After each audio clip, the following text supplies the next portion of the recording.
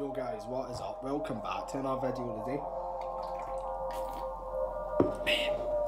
I want to put a few points out there guys and I want to just get the word out there. So, before I say what I need to say, comment, like and subscribe. All good, if you can all go down there and smash that like button. Let's see about 29 likes, that would be amazing. Also, if you want to subscribe to Chloe McPike, Lindsay Ann, and James McGonigal, their links will be in the description. So give them all a sub, they're legends. Also, subscribe to Ian Salisbury as well. He deserves a wee sub, so get him up as well. now, let's get into this. So, due to all this COVID crap and all of this shit that was going on, there have been tons of us that have been depressed. There have been tons of us that have been down. There have been tons of us that have committed suicide, that have wanted to die, that have just not been in the right mind to deal with anything. And I pretty much was close to the end of my life. I was actually that close to committing suicide. Now, I'm going to show you guys specifically what happened. So, for there, down to there, there was about, say, five wires down there, and I almost ended myself.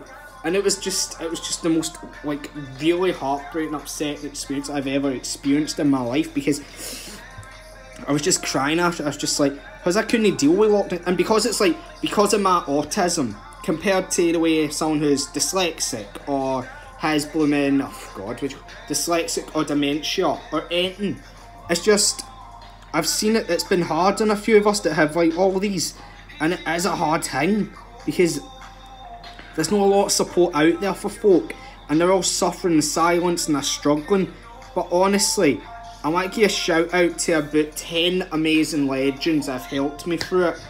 Now, first on the list, Chloe McPike. Second on the list, Lindsay Ann. Third on the list, James McGonigal. Fourth on the list, Jordan Chittick. Fifth on the list, Ethan Meakin. Sixth on the list, my dad. Seventh, my ma ninth, eighth and ninth, my nana and my grandpa. And tenth, especially, goes to David Romano. Now, as well as everyone else, you all get a shout out as well. But the reason I picked those 10 is because they've helped me through so much in my life. And it's just, I couldn't ask for such better folk. They've supported me through things and helped me out and just everything. But I, also, as well, in most people that are going through the same as me, just remember it's okay not to be okay. It's okay for grown men to grieve and shed tears. And honestly, to people that honestly think it's fake, don't judge a book by its cover because you don't know what people are going through in their personal lives before you actually comment hate or anything on anyone.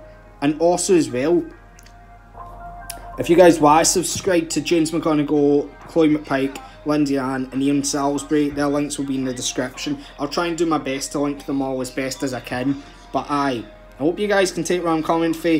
And the whole thing as well, with me dropping, wanting to drop of school, it's still going to go ahead. Now, that's been my choice. If I like to leave school, I'll leave school. If anyone wants to stay in school, that's their choice. They did them, I did me. I do what's best for me, you guys do what's best for you. Now, I hope everyone can understand and respect that.